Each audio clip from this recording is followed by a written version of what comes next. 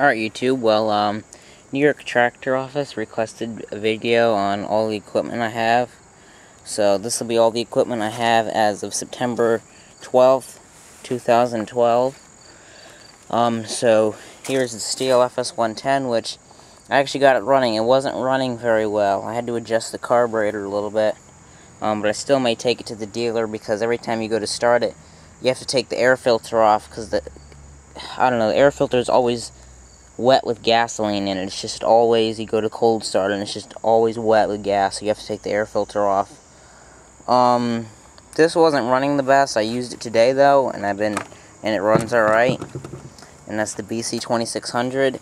Here's the GZ25N, um, which, uh, what do you call it? Uh, Jonesboro 85 has a GZ23N, which is smaller. Um, what's his name, 944 Own had uh, got this trimmer off of Craigslist, one like this. So, uh, a little shout out to him. Um, next is the John Deere mower, which I got this from a customer for free.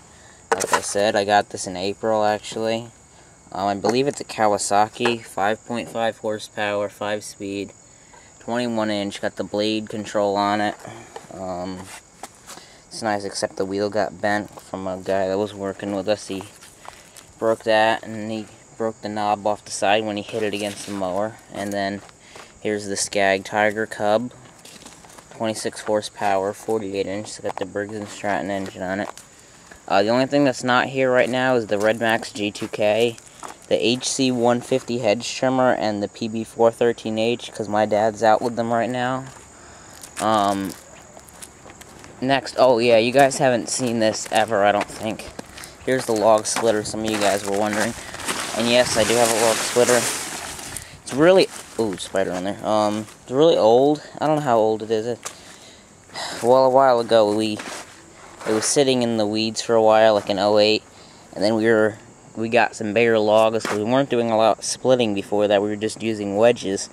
So we said, well, let's try and pull it out and get it started fired right up, never had to do anything. The only thing we did when we got it running was put an air filter in it, change the fluid, and uh, takes automatic transmission fluid, which I actually have to change the oil and change the fluid and the filter on it. But it is a Didier log splitter. It came from uh, Agway, and uh, so it's got a 5 horsepower Briggs & Stratton, really good log splitter. Um, got a lot of power it's got the wedge and everything. So, yep, I got a log splitter. Um, runs very well. Um, never had any problems with it. So, um, well, let me go over here then. Dump trailer. Um, here is a giant vac leaf vacuum, which I don't know if you guys ever seen these before, but this is an easy vac leaf vacuum. It's like 25 years old that we've had for a while and we always use for leaves. And this I got for free in the spring is a giant vac, which this came from a, there's a cemetery next to us and they decided not to vacuum any more leaves in the cemetery, so they decided they're just going to give it to us, and so I got it. And this little pipe here, which is a little piece of metal they haven't given us yet that goes to hold the hose, well, when they had this, I actually welded that right at the bottom there, but it broke again, so, um, so yeah, it's got the Briggs Stratton Industrial Plus engine. The only thing is, this is hose is a little skinnier, so this may plug up more. That's got a bigger hose. That's like an 8-inch hose. This is a 6-inch hose. Um, so, it runs good. He just said I need to change the oil, and I definitely need to put, the bolts need to be tightened, because can see they got them double nut and they said you have to just make sure you keep an eye on them. Then they also gave us this little trailer that goes, it's a little leaf vacuum. It's got this here on it, a little tube, and it runs off the mower deck. Oh, here's the Simplicity Garden Tractor. And what it is, is you have to buy this pulley. It's a special pulley. It looks like this, only there's two pulleys. And there's a boot that goes on the side, kind of like a Exmark vacuum or a Scag vacuum and it runs off of there. I'll show you the boot, or the fan boot in the shed in a minute. So that, uh, they gave us that, but they haven't given us, um, I think I may have to buy the pulley, or maybe I can get them to give it to us. But uh, here's the Lawn Boy. We don't use it much because it's uh doesn't have the bagger. We lost the bagger a while ago, and uh, it runs good though. So um, now let's take a walk into the shed. Oh yeah, and here's the walk behind mower. Right there, Scag walk behind mower. I need to get a Velke for that. There's the Kubota L35. And under here is an Allis-Chalmers garden tractor, which look exactly like the Simplicity. They have the same engine. And it wasn't running. And uh, so I needed a lift cable for the implement lift. So I used the Kubota and I flipped this thing upside down to get the cable off so it was easier. And I said, well, let me try working on it because a while ago I tried to start it and it wouldn't turn over. Turns out there was just some wires loose and the battery terminals were a little corroded. So I put the garden tractor battery in it and uh, I was able, I was cranking it and cranking it and then finally it started up after a little bit. So I bought a new air filter for it. The only thing that's stopping me from running it right now is I need a new gas cap, which I just have a bag over the top, but the here's the tire, but it was really messed up because we needed a valve stem for the other tractor. And this actually tire had a tube in it. But I bought the valve stem, but I said, uh, you know what, this tire is just way too messed up. Like I had to, I had to take the tire off the rim to get the valve stem in. But this tire was just so messed up that it punctured holes around the bead. We had to just rip it off the bead. And so I said, you know what, it's all dry rotted, so I'm just going to buy a new tire. So I still have to get that new tire. And once that, then I'm just ready to go with it. So, here's an old mower deck, which is not really any good. And there's the wheel weights and uh, wheelbarrow. And now here's the Red Max chainsaw. Um, there's the Echo PB265L. There's the Mantis rototiller. Um, there's the Ariens Edger uh, some electric hedge trimmers, the old Echo HC150, and actually, I don't know, my dad actually prefers using electric hedge trimmers when he's trimming for a long time. I guess because they're lighter. But uh, here's the extension cord, so there's the Red Max saw, like I said.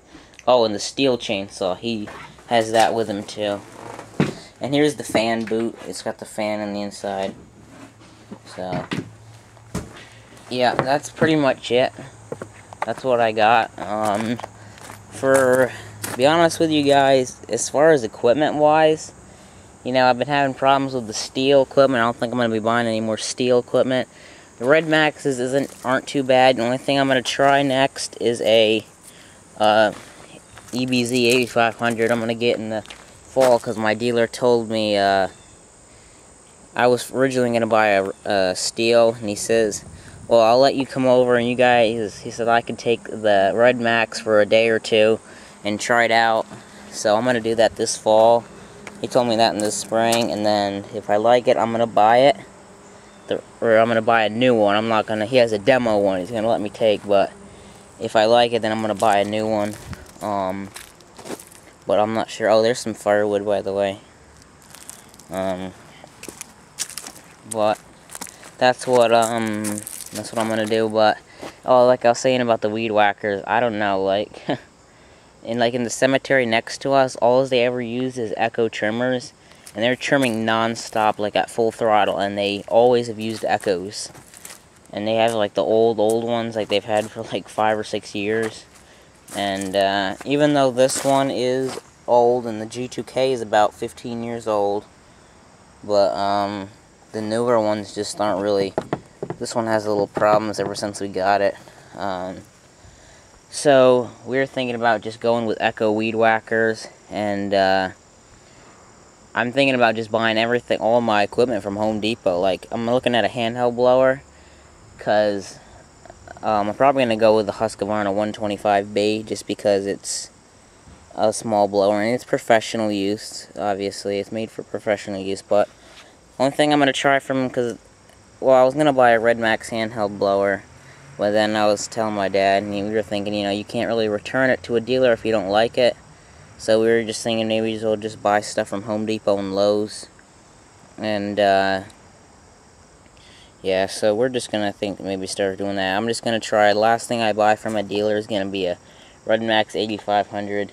Because actually the 150 BT Husqvarna, they're practically the same amount of power, just a difference of a few CFM, which isn't very much. Um, but yeah, so what do you call it? Um, yeah, so that's what I'm doing. I'm gonna do that, and uh, like even some stuff out there like oil filters for the walk behind and the Scag here. They look like the same oil filter because we've been buying Stens oil filters because that's all you can really get. But they have Briggs & Stratton air filters which say John Deere on them, but they look like the same one. And this has a number that lists uh, what the Sten's oil filter replaces for Briggs & Stratton oil filter. So I'm going to compare the numbers if, if that's the case. And I'm just going to start buying even like the Kohler air filters for the John Deeres. Look exactly like the Kohlers that go on the garden tractors. So uh, yeah, next I'm going to do a video on the trailer. So watch that video and let me know what you think. See you guys.